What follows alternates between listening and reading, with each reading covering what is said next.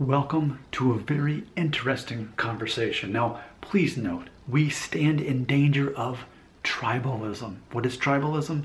It is the caveman instincts in your brain to think it's either this or this, but not in between. That's what people tend to do. Well, we're going to have a challenging conversation, and at the end of it, you get to decide ultimately which side you're on Maybe you find yourself somewhat in between. But this video is meant to challenge and inspire you. Let's put on the glasses because that means I'm getting serious.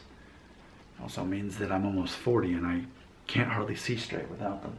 But I tend to try to avoid wearing them in glasses just because there's the glare and it seems less personal, I suppose, in some ways. But in real life, I'm pretty much always wearing these. All right, here we go. I made a video called The Cure for Hair Loss Laser Therapy. Pew, pew, pew, pew. That's actually the name of the video. It was based on someone's comment. When we start looking through the many comments that came through, I see our friend Tobo S. And here's what he said. He said 216, referring to the men in that video. He said, quote, if shaving your head and embracing baldness demonstrates confidence in one's appearance, where's the need to go to the gym and get ripped? Just as reduced hair growth is stalwart sign of aging, so too is weight gain. So if embracing baldness is masculine, why isn't embracing the beer belly also masculine? Also, gym memberships tend to be expensive. Do you not preach living to serve the needs of others over your own desires? If competing working out to popping the hair pill, would the latter not grant you more time to focus on the needs of others since doing so takes no more than 5 seconds and 30 cents a day as opposed to a costly gym membership which you will have to attend for at least 25 hours a week to achieve optimum results. Also, I notice you assume that whenever a guy is concerned with hair loss, it's necessarily because they are concerned about others' opinions. What are your thoughts on men who would just prefer to keep their hair for their own sake? End quote. So that's ultimately our discussion. Our discussion is we're comparing the concept of caring about going bald and trying to prevent that versus trying to get in better shape. Now, I am 39, I am less than a year from 40, and it's very important to me that I do not continue to gain a waist size every time I have a birthday. So earlier this year, I did join the gym, and I go a minimum of six times a week, at least usually an hour to hour 15, full workouts. I'm doing a little bit of everything. I'm doing the weight training, I'm doing uh, you could even say some CrossFit and even Pilates in there. I put all those in there. I got a lot going on that I do. Well balanced, I feel. And I've completely altered my diet accordingly. Whey protein shakes, eggs, uh, you know, high protein, no junk food, no, no bad carbohydrates. Been doing the whole thing. So I can see already from the beginning of the argument, it makes sense that yes, as far as what is less trouble, less maintenance, ultimately it would be taking a pill and paying 30 cents a day. Which for me, my gym I paid up front for a year. It was basically a dollar a day. It was $358 for an entire year. So it's a, a dollar, basically about a dollar a day is what it comes down to. So for me though, already into this video, what I'm gonna tell you is, my mentality is focus on what you can control, not on what you can't. And when I say that, I'm meaning that more naturally. You could say, well, Nick, is it really natural to drink, to consume 60 grams of protein in a whey isolate protein shake? Is that, is that really natural?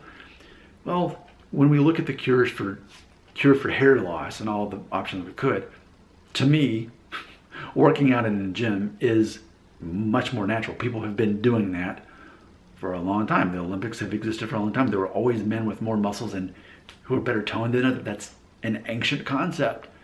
This this idea of trying to hide hair loss or stop it or prevent it is more of a a new concept. It's more of a cosmetic thing. See, and I think that's another thing. Okay, well, Nick, but if you keep working out, you are going to cosmetically look better. You're going to have a better physique. True. Is that why I'm doing it? Part, yeah. I definitely want to be looking good for whatever my age is. But also, we can't deny the fact that also I'm going to actually be healthier if I invest in that over my hair. So let's look at more of the conversation that came through. Because definitely people agree with Tobo. And Tobo, you know, I got to give Tobo credit. He's the reason I've made many good videos on this channel.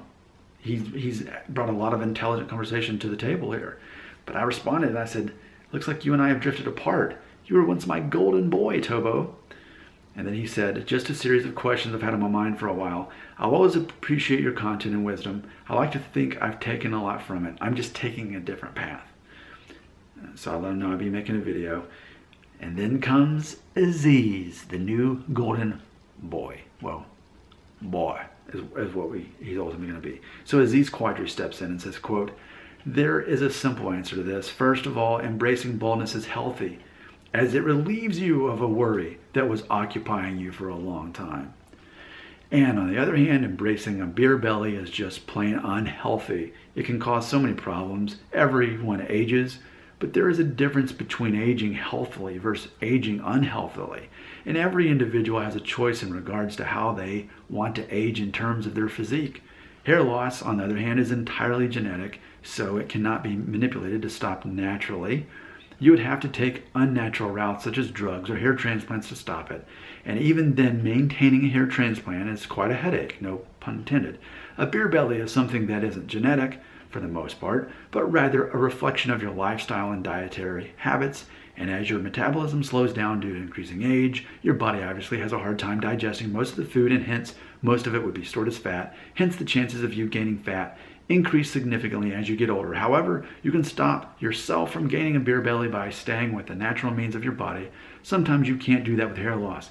In conclusion, there is a great deal of difference between stopping hair loss and getting rid of a beer belly. One can be done naturally by eating healthy and working out, while the other can not be stopped naturally. There are two types of people who work out those who work out to stay healthy, and those with the sole purpose of getting ripped and showing off their physique whenever they can and going into unnatural means, such as taking steroids to achieve this goal. The latter type are just as insecure as the ones who try desperately to cling on to their hair and essentially fight a losing battle. Man, I approve that message. And yeah, he's right. Obviously, I'm not the guy who's eager to pull up my shirt and show everybody, oh, look at my six pack once I get it. If I do, who cares? But yeah, there's definitely a lot of insecurity in guys doing it for that reason. Now, I did say I'm wanting to, you know, drop my pant size, not drop my pants, drop my pant size. That's important and maintain that and have a good physique from whatever my age is, which overall will increase my health. And that will mean I look better.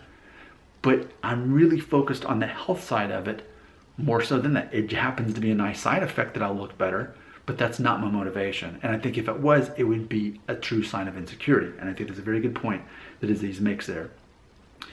Uh, so then I said, Aziz is now my new golden boy, such wisdom, maturity, and grounded logic. To which he said, I prefer golden boy. But thank you, Nick, means a lot.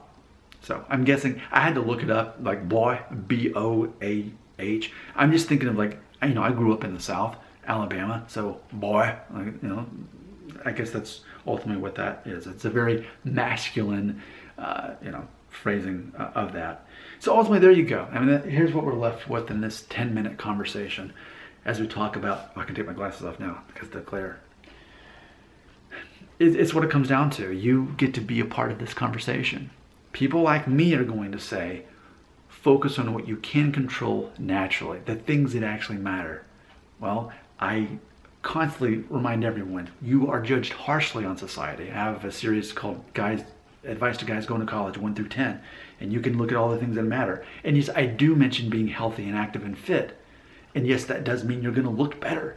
And I even talk about dressing nice, nicer than most guys, because women do pay attention to that.